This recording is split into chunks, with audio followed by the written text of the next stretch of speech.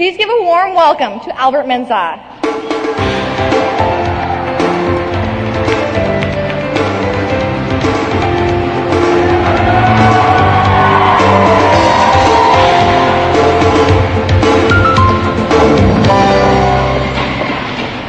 Akwaaba. Oh, let's do it again, Decker. Akwaaba. Good. In my language, Akwaaba means welcome. My name is Albert Mensah. I was born in a small village in Ghana. Now, some of you may be saying to yourselves, Where is Ghana, Albert? Perhaps this will help. Ghana is right below Burkina Faso. Are we on the same page now? Good. I will spend the next 40 minutes share with you my story. I will share with you that it's not where you come from. It's not what you don't have or what you have. It's what you do with what you have today. See, I grew up in a small village in Ghana. In my village, we had about 200 people in this village. Half of them were my relatives. Now, this village that I came from had no electricity. We had no indoor plumbing. The size of our school was this big. From that far of that stage to that far of that stage. This is it. That was the whole school. It was made of clay. In other words, we made the school ourselves. The school had one divider in the middle of clay. So we had one class, two classes, and the three classes. Both these classrooms had three tables, three chairs, and three teachers. So what did the students say? On the ground. Now, ladies and gentlemen, I'm not talking about this wonderful ground. See, the school was made of clay. So the ground was what? Dirt. We sat in the dirt, listened to the teacher. The roof of this building was made of straws. So when it rained, what happened? Leaked. Remember yesterday's rain? Can you imagine being in a classroom and that type of rain is coming down? We had torrential rains, monsoon rains. And what happened when the rain starts seeping through the roof? We will have to stand we had no chairs, so we would kneel on each other. Just listen to the teacher teach. We would stand in this mud all day. You know, three years ago, I noticed that while my left foot sometimes just goes to sleep. And I have to just keep knocking it out till it comes back out live. So I went to see my doctor. I said, Doc, eh, his foot goes to bed all the time. What's up? He said, Albert, we have to do some tests. We did all kind of tests.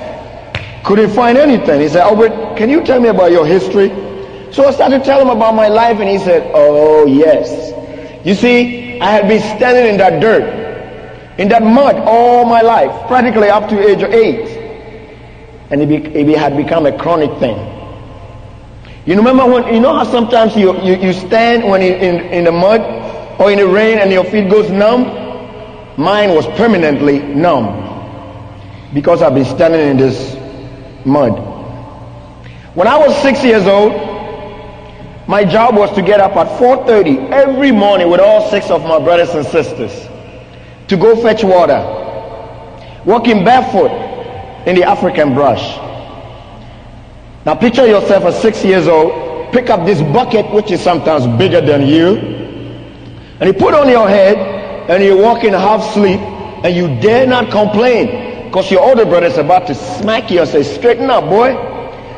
And you're going and all of a sudden sometimes you step on something soft, you go, ah, it's a snake! And you still have to keep going. The second time we got to this creek, we took our clothes off if we had anything on. And we would dive into this water, this creek. The color of this creek, you know what I mean, it was like brown, it wasn't like real white.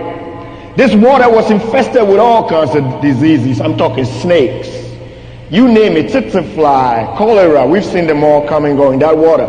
But that was the only way we were going to take a bath. And we would dive into this water, clean ourselves, and when we were done, we would get out, put our clothes back on, take our buckets, fetch the same water, put it back on our heads, and walk two more miles, bring the water home, left it there, and went to school.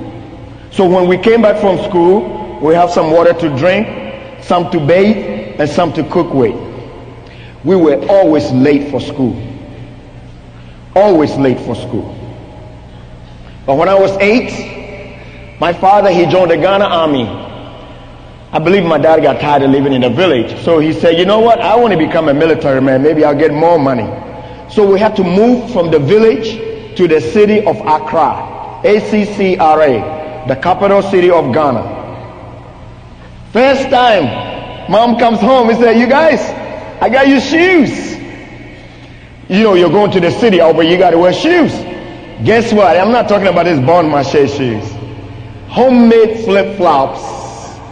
Remember those homemade flip-flops? Who's got flip-flops on that I can use? I can demonstrate to you. Oh, you guys are dressed up. Sorry. Now, the, remember those flip-flops where the, the thing goes into the hole like that? Well, Ours was made in Ghana. It was so thin. After one step, that thing will pop out. So what we would do, we get a safety pin, wedge it right behind it so the thing will stay. Well, that safety pin was also made in Ghana. After one step, the safety pin will also pop out. So sometimes you take a step and it pricks your big toe. We will come home like this. One foot on, one on your leg holding, and the mom is like, take it off, Albert, already. Take it off. You're like, mom, I'm the only one in the neighborhood with shoes on. See, that safety pin will prick your big toe, but you come home, your big toe is this big. It's got blood dried all over this flip-flop, and yet you refuse to take it off because you had shoes for the first time. And I remember when they gave it to us, I had no idea how to walk in the shoe. And they were giving we were like this. Like, what are you guys doing? I said, we're trying to walk in this thing, mom. After a while, you just walk barefoot, baby, because that's what we're used to. So we get to the city of Accra. First time in my life we see electricity. First time we see buildings not made of clay, not made of straws, but cement. Excitement. For the first time in my life, I stayed, I, I laid on a mattress. See, in my village, we had this hut, and all eight of us slept in this hut. Mom, dad, six children. No mattress. And mom will make this mat with straws, and we will sleep on it. Head, leg, head, leg, leg, head. And if you really mad at your brother, you just put your foot on his head while you were asleep. Yeah? That's how we used to. Now I get to the city, we have mattress for the first time. Mom comes home, dad comes home from work and say, you guys, Tomorrow night, we're to go watch a movie. And the mom, what's, what's the movie? I said, listen, Albert, we're to go to this place. They're to show us pictures. So, oh, I love pictures. So all six of us get to this movie theater. It wasn't really a movie theater. It was a parking lot converted into a movie theater. The movie screen wasn't really a screen. It was a white wall. So the kids, we sit on the floor daddies and parents in the back on the bench, mosquitoes buzzing. Dude, I'm trying to watch a movie. And we're sitting there and the lights go out. We're like, hey, where is the light? Said, be quiet, just look up there. And the lights pop out on that white screen. And guess who comes on that screen? You. Americans. People dressed like you, walking like this. Like, oh my word. I'm sitting in this movie theater like this. Here these African eyes pop out this big, like, whoa. I couldn't believe it. People were wearing nice clothes. People had more than one meal a day. See, I'm used to eating one meal a day. I'm used to sharing one towel with eight people. I'm watching this movie I'm seeing these people walking around these nice clothes, all carefree, happy. And one thing that struck me in that movie was that everyone in that movie had on shoes. Everyone. I'm sitting there as this eight year old African boy and I started dreaming. How many of you here have dreams? That was the beginning of my dream. Beginning of my dream. I sat there and I said, Oh no, this is it. Ladies and gentlemen, can I ask you guys questions? My mom is like, What do you want to know? I said, Remember the movie we saw last night? Yes. Was that real? He said, What do you mean, was it real? I said, No, seriously. Was it really real? People live like this? He said, Yes. I said, What, what, what country is that? He said, It's called the United States of America. Why do you ask? I said, Dad, I think. Did you see the same movie I saw? Because I want to go live there. Guess what they all did when I said that? They laughed. How many of you in this room have these wonderful dreams and sometimes even when you share with your own relatives, the first thing they say is, ha ha ha, you're not good enough. Have you been there? I'm going to spend the next 30 minutes to share with you that, look, don't believe them. Do not believe them. I'm testimony that if you truly, truly have a dream, wherever that dream is, and you want it to come true, all you have to believe is who? You. And guess what? The same people that were laughing at me, today they, they were my leftovers. They were the same people.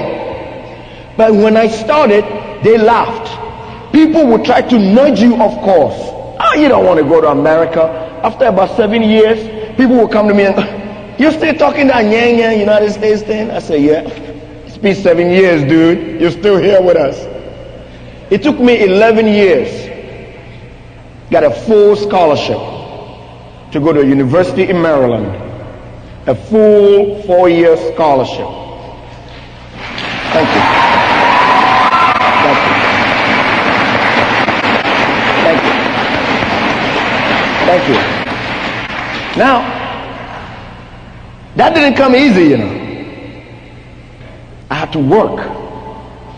So I go home and I say, I want to go to America. And I go to all my buddies. You guys, I want to go to America. And every time they saw me, they're like, oh my, well, here comes Albert. He's going to talk about America. They gave me a nickname. They called me States. Even today, my mother is called States Mother, States Father, States Brother. 25 years later, they still have that name stuck.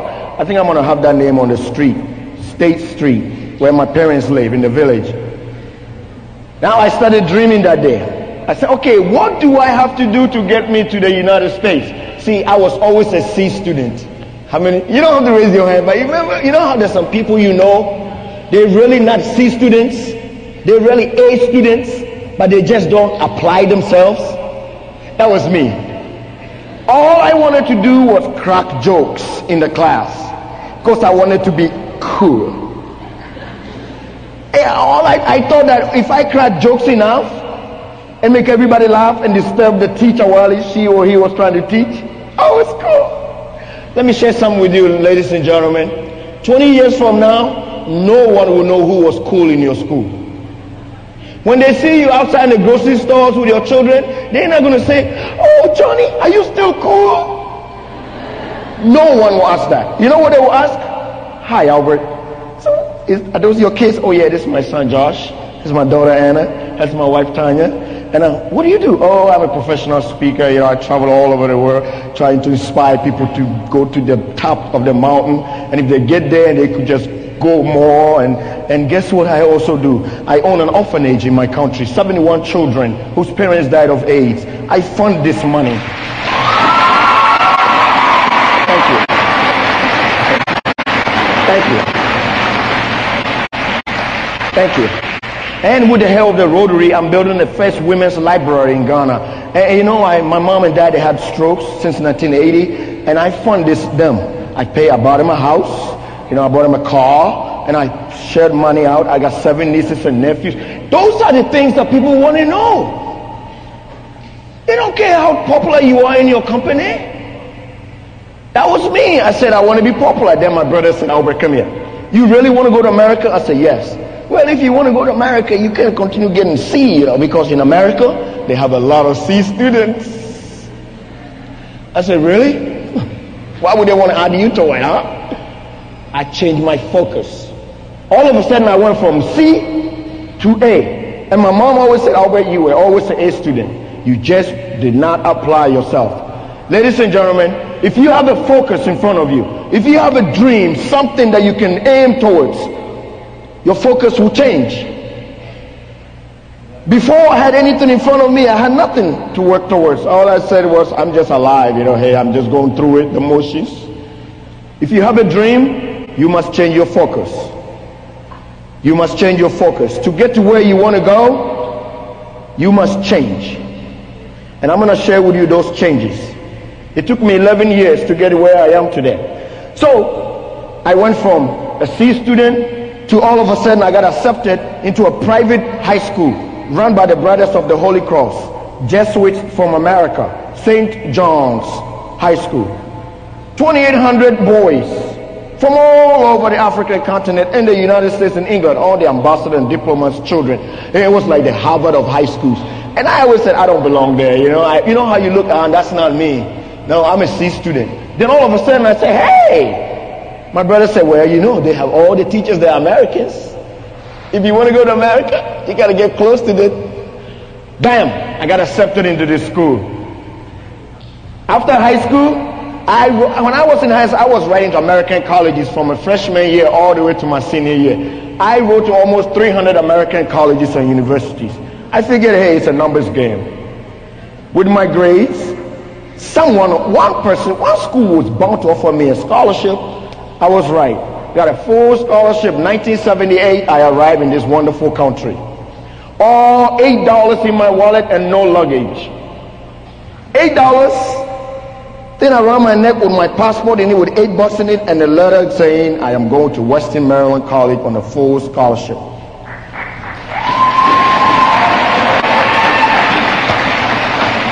Thank you.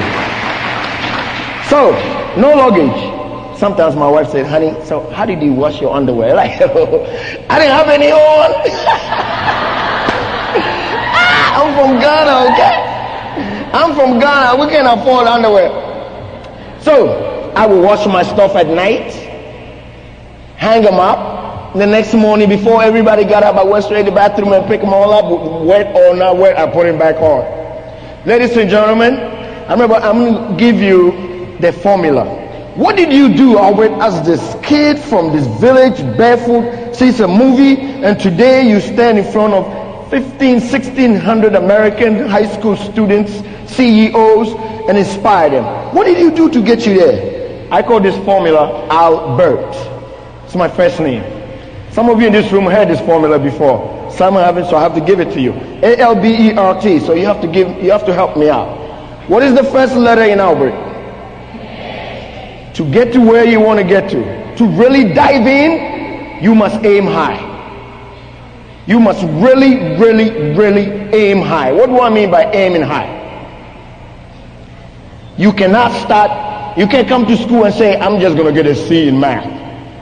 You can't start from there because if you don't get a C, what do you get next? Oh, no, no, there's no D. F.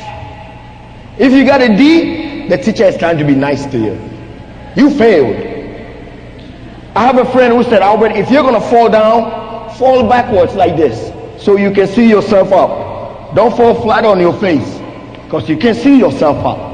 Do not start from C. Tell yourself, I'm going to get an A. And you have to work. Some of you refuse to apply yourselves. If I did it, you can do it. All you have to do is just flip the page. You know how sometimes you have a homework and right, you just do the homework and your parents go, well, it's only 6.30, you know. You mean you're done? Yeah, I'm done. Well, flip the page. Well, we don't get there till tomorrow. No. Flip it anyway. Because tomorrow, when the teacher asks a question, you're like, and everybody in class say, she's so smart. And you're telling yourself, no, I just flipped the page last night. You have to go the extra mile to get to where you want to go. You must start way high. Let me give you another example. I have a daughter. She's 10 years old. Anna. I call her Princess. Proud Papa. She's in fifth grade, Lake Youngs Elementary School. Now, this summer she wants to learn how to swim. We go to the pool. Watch this. This is the beginning of the pool, and that's the end of the pool. There'll be a quiz. So she gets in, and me, I'm here, and the coach is over there. She jumps in the water, and I'm on go screaming, Yes, let's go, princess. You got it, baby. And everybody's in the pool looking at me like this guy's crazy. I don't care. Yes, yes, go, baby. And she gets to the middle and she stops.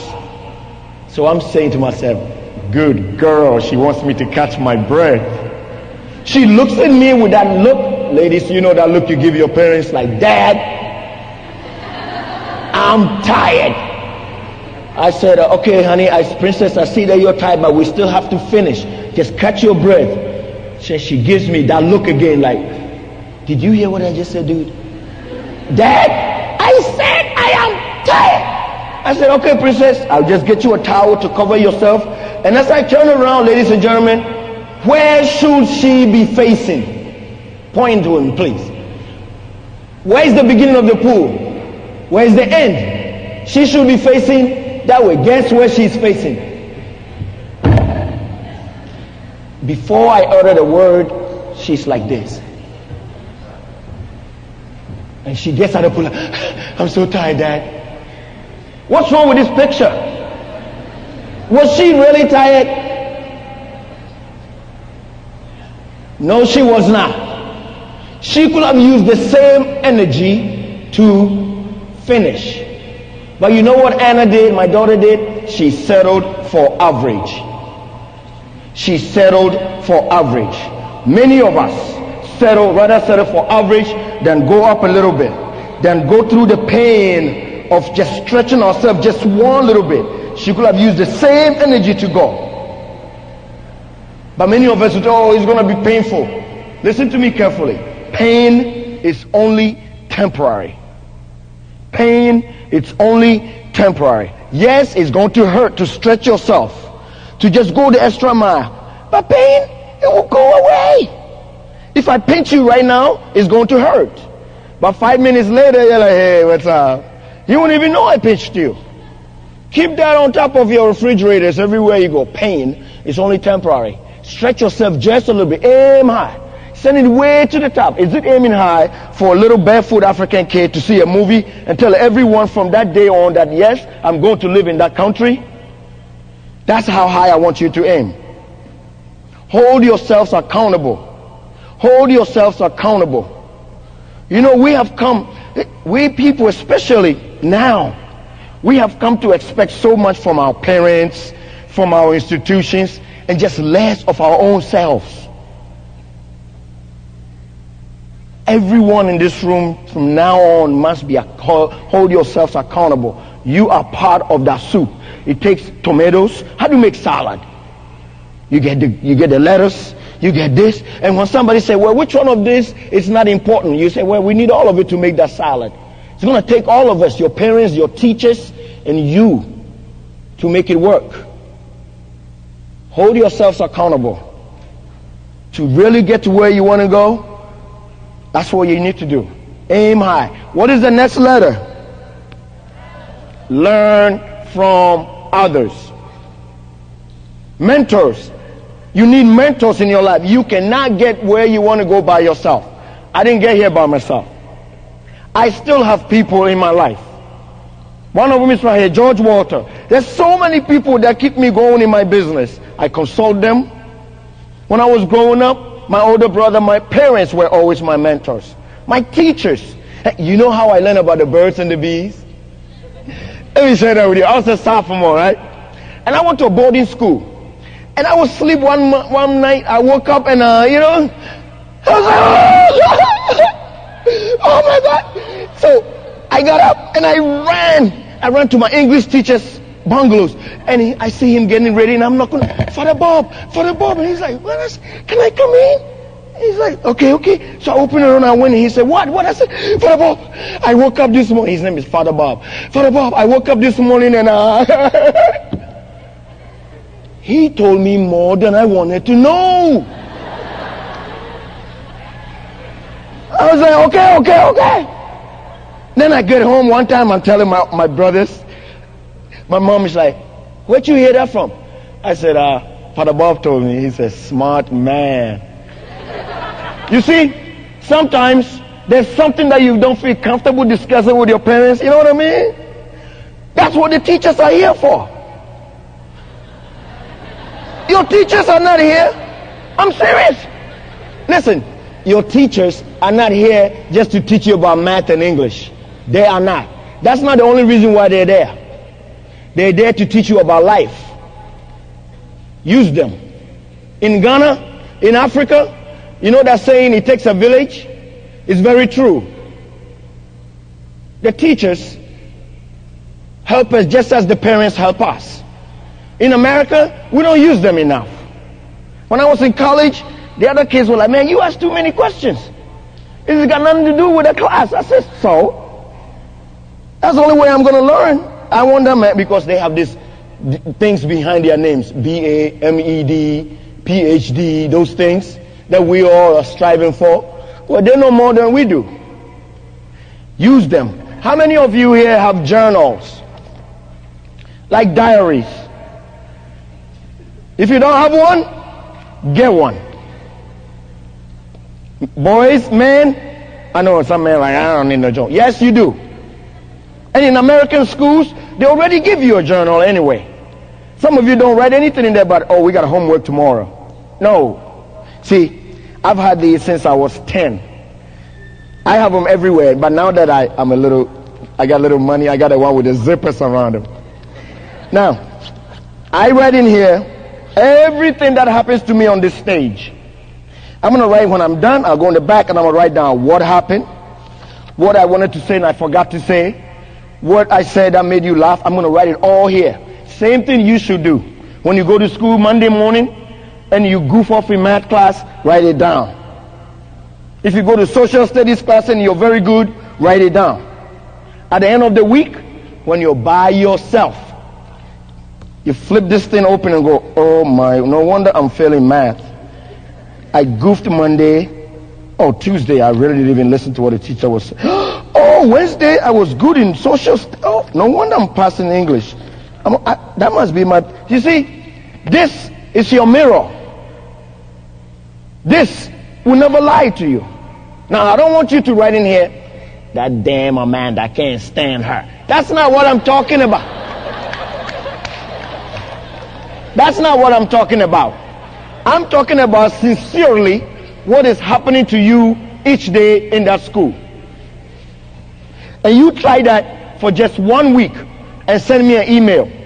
Albert Mensah, albert at albertmensah.com. And say, Albert, you were lying or you were right. This will never lie. Learn from it. Find mentors in your life. Find yourself some heroes and drop those zeros that you're hanging around with. You know how sometimes when I was in school, when I was in high school, I wanted to be, even though I was going to America and I, I played soccer, you know, I was very popular because I played soccer.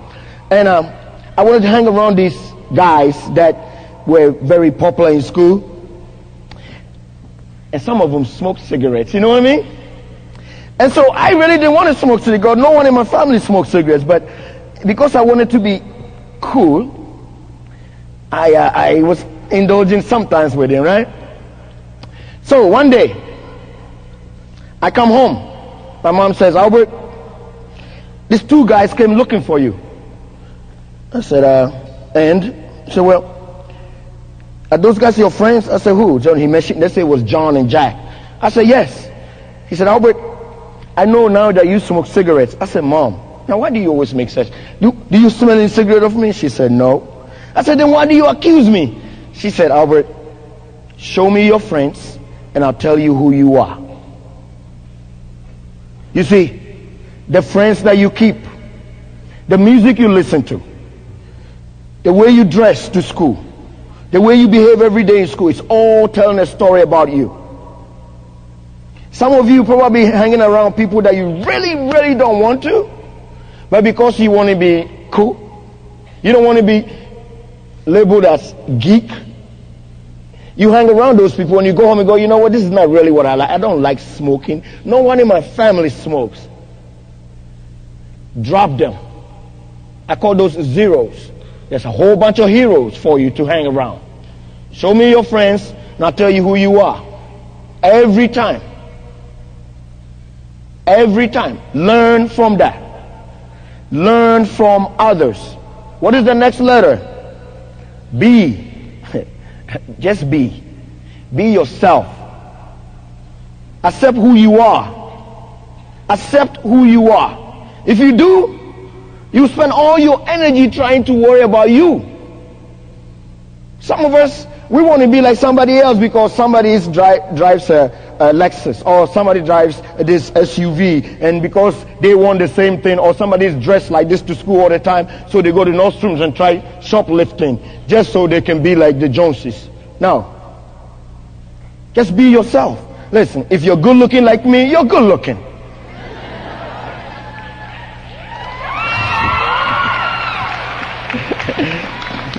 if you're thin, you're thin. If you're heavy, you're heavy. If you got freckles, if you got freckles, you got freckles. You can pick up the phone and say, Mom, you brought me into this world nine months later, right? Well, take me back and bring me back tall, dark, and handsome. Like Albert. It wouldn't work. It wouldn't work. This is it. This is it. What you see is what you got. How many of you seen the movie Men in Black? Okay. So you're going to help me with this. Remember when Will Smith put on the shades and he said, I make this look good. Remember what the director of that movie was telling us? See, when you watch a movie from now on, don't just watch the movie.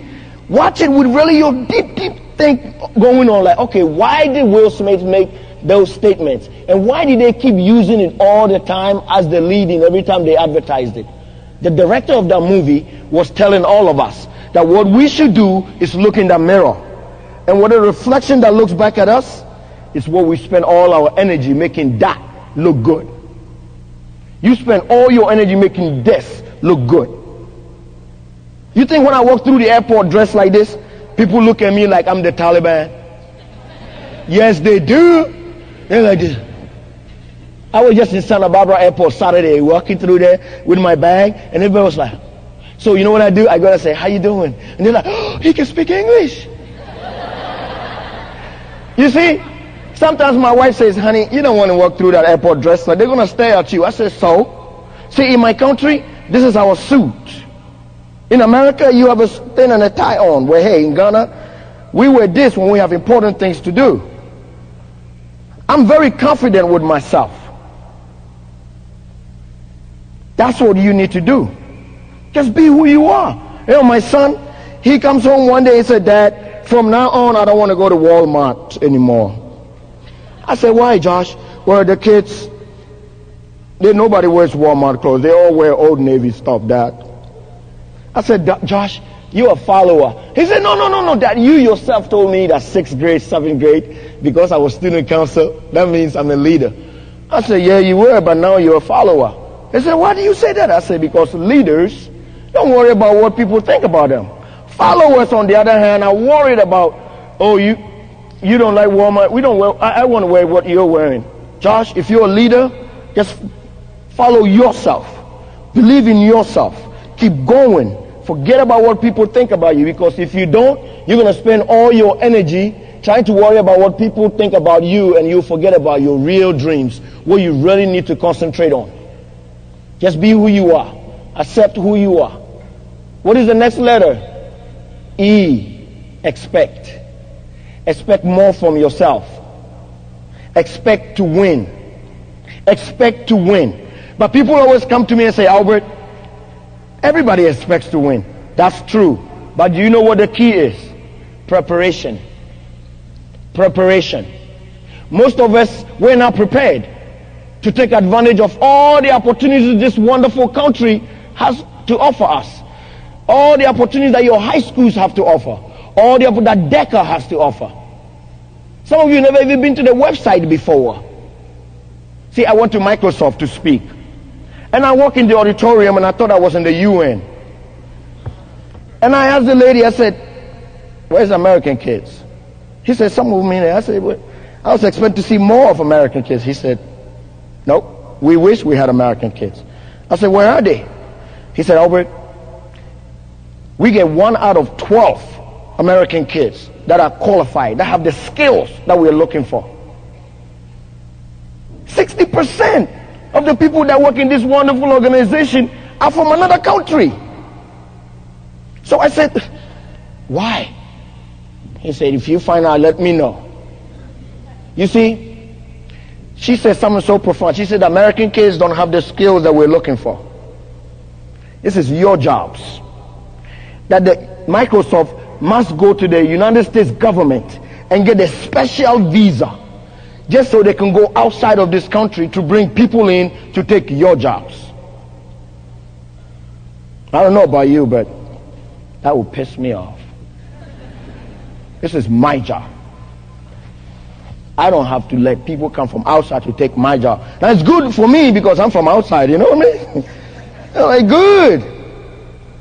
Expect to win, but you must prepare yourself. Prepare yourself. Go the extra mile. When you come to school, come to school. I know you're going to talk about peer pressure, but if you went through middle school, peer pressure is over. If you made it, it's over. Right now, it's winning time. Prepare yourself. What is the next letter? Take risk. Take risk. And in your case, sacrifice. Turn off the TV and turn on your brain. See, I didn't see television till I was 19. And I didn't die. You won't die. If you turn off that video games.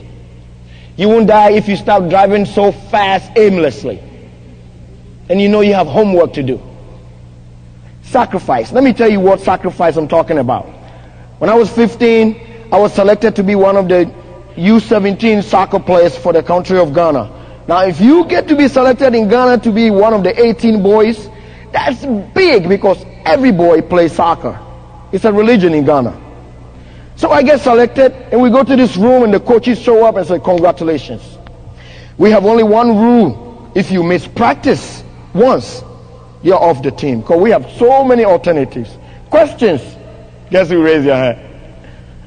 What, Albert? Well, coach, since I'm your speed star and I'm your goal scorer, you're going to make one exception. What? I say, you know, on Thursdays, the American Embassy opens their library for the public, for the students to come in and read about America. And I have this dream that one day I will go live in that country. And on Thursdays, I might be 45 to one hour late for practice. He said, oh, no, no, we're not making exceptions, dude. You decide what you want to do. I said, okay. I never went back there. Now my dad said, what happened to the soccer? I said, Dad, I quit. He almost killed me. You quit? I said, Dad, yes, I quit. Why? I said, because I want to go to America. I don't want to soccer. It's not my dream. See, it was my dad's dream for me to make the team so he can brag to his buddies. Today he says that was the best movie you ever made, Albert. Sacrifice. How many teenagers are willing to say they will give up that big, big thing ever happen in your life just to follow their dreams. That's the kind of sacrifice I'm talking about. Big sacrifices that is going to hurt you. Like, I can't watch Friends anymore. No, you can't watch Friends anymore. I can't watch this anymore. No. Why? Because you got to read. You got to get on the website and learn more about the college you want to go to, about the trade that you want to get into. You got to sacrifice. To get you where you want to go, you must make huge sacrifices. Brings me to the last letter T. Trust yourself. Trust yourself. You must believe in your dreams. You must believe it so much that people, because people are going to come and try to, people will only, all it takes is a story. All it takes is somebody to come and go, dude, you want to take a hit of this? And your whole dream is falling to some gutter. All it takes is somebody to just come and convince you to, nah, you don't want to go to America. There's a blonde up there waiting for us, dude. You're like, yeah, really, American blondes, huh? All it takes is a story. Trust yourself. Believe that yes, you can make that dream come true. It doesn't matter if you come from Commerce.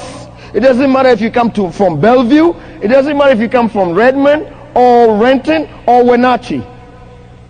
we are all put here. My grandfather told me this before I came to Ghana, before I came to the US. He sat us down. He said, Albert, you already made me proud. You have made all of us proud. You need to now make yourself proud. When you get to America, this is exactly what you're on your way to do. He said, when you go to the cemetery, you see a tombstone, and it will say John Doe, 1974 to 1999. 74 means the day he was born. 99 means the day he checked out. There's a dash in the middle. That dash is what you're on your way to do.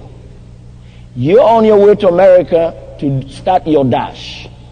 What is your dash? What are you doing with your dash? Can you look at yourself and say, I, John Doe, my dash is blah, blah, blah. That dash is what we are all put here to do. No matter where you come from. Doesn't matter what you don't have. What are you doing with that dash? And so, ladies and gentlemen, that's the formula that put me where I am today, that I today I still do it. When I started my speaking business, people say you're not going to make it because you have an accent. Today, the same people say, Albert, you only made it because of your accent. people will try to nudge you of course. You must trust yourself and believe in your own ability. And even when people say you can't make it, you know, when people say, I say, okay, watch me, and I'll prove you wrong. Trust yourself. Now, my time is almost up. I always close my conferences with this wonderful short story. Some of you in this room probably heard this story before. I tell this story best. This story is about this African home builder. His name is Ndunga. Ndunga, he's been building homes for 30 years and he's never owned one. It's time for him to retire. He comes to work, decked in his Armani tuxedo. He have all his grandchildren his neighbors with him. And he's in his office just dancing to the music, taking the pictures of the wall in a box, and the phone rings. And he picks the phone up and he said, Ndunga here? He said, Ndunga, this is your boss, Whitney. I need to see you in my office. ASAP. So he hangs the phone. He goes to the boss lady's office. He said, Boss lady, you want to see me? He said, Yes. I have good news and I have bad news. Have a seat. So he sits. He said, uh, What would you like first? He said, uh, Give me the bad news first. He said, The bad news is I can't let you retire today. He said, What you talking about, Willis? He said, The bad news, I can't let you go. He said, Then what's the good news? He said, The good news is, I'm begging you, please, Dunga, don't retire. The good news is, we received a call last night to build the most expensive house that this company has ever built. And since you're my best man, I need you to stay. And I don't want you to stay to build the whole house. I just want you to stay and build, lay the foundation. Why do you think they ask him to lay the foundation? It's the most important part of the house, right? So Ndunga look at boss lady Whitney and says, okay, Ndunga will build it. But Ndunga really didn't want to do it. He had lost the two most important things that we all need to have with us from now to the day we check out.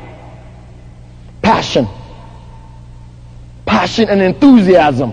You should get up every morning, have so much enthusiasm about life, passion about going back to school and getting things kind of moving on to the next level. But Ndunga had lost those two things. And he didn't tell Whitney this. So he said, okay, Ndunga will do this. And he turned around and he said, I'll fix you. And he went, and instead of just laying the foundation, he built the whole house. But he didn't take his time. He ran through it. He did such a lousy job because he had no passion and he wanted to fix that woman for letting him stay longer. He was six weeks ahead of schedule. And he comes back to Whitney and he said, boss lady, that house, you're going to love me. I did you a huge favor.